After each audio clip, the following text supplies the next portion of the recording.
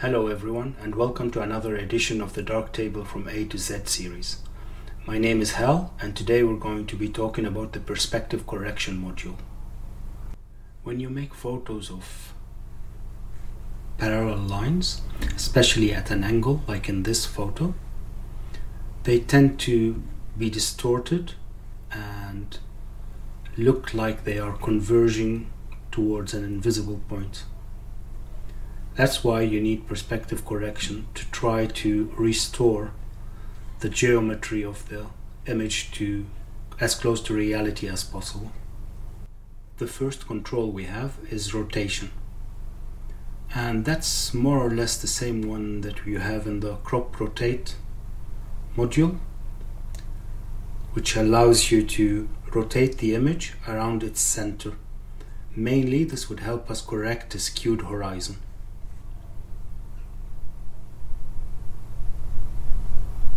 As you can see the image is just now rotating clockwise and if I move the control to the right then the image would rotate counterclockwise. The next two controls are lens shift vertical and lens shift horizontal. They help us correct converging lines, one for converging vertical lines and the other for converging horizontal lines. Let's try it and see what it does. As you can see, this one is pulling it to the left is stretching the image at the bottom or compressing it on top depends on how you'd like to see it and for this image I'll reset this one. For this image it's probably better to pull it to the right and that does exactly the opposite. And as you can see those vertical lines here are now being separated and those here that were converging if we continue we would be able to make them parallel again. And then the same for the horizontal lines.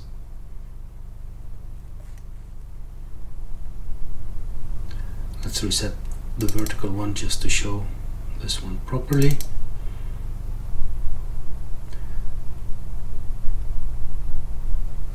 This compresses the left side or expands the right side and to the right does exactly the opposite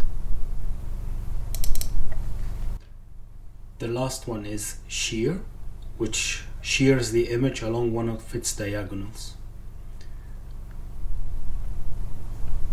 So it's as if we're turning the image along this diagonal or along the other diagonal as you can see and this is helpful when correcting vertical and horizontal perspective simultaneously.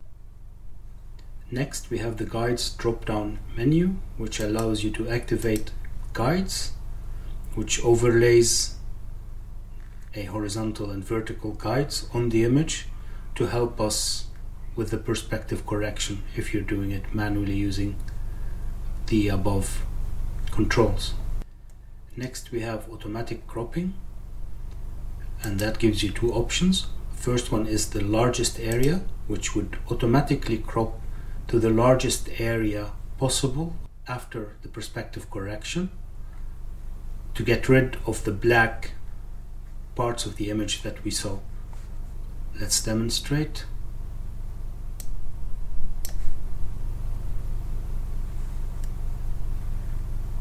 There you go, it's automatically cropped to the largest area. If you select original format, you would get a crop in the original format and you can change it if you want to. Next you have the lens model and this controls the lens focal length and camera crop factor and aspect ratio. If it's set to generic than a focal length of 28 on a 35 millimeter full, full frame camera is assumed. If you set it to specific, then you can do that yourself.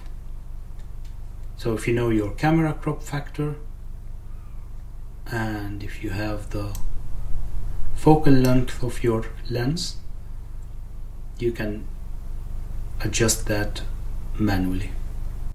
On specific, you can as well adjust the aspect, which would just change the aspect ratio of the image if it's not correct or if you want to change that.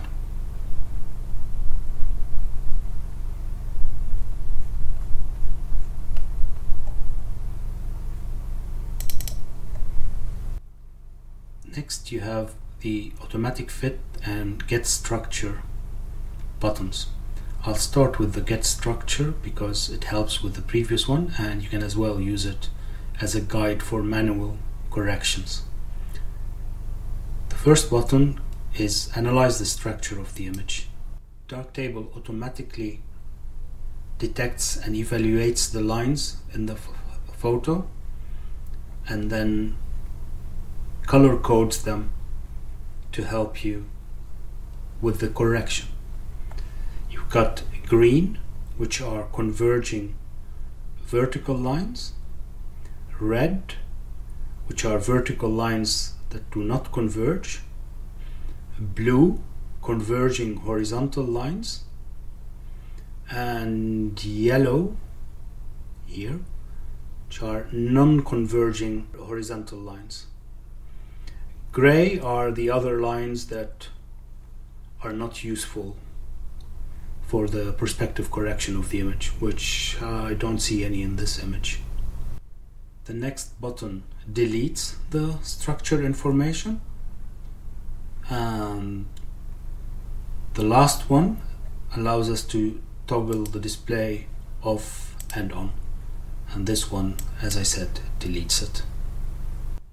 Now the automatic fit.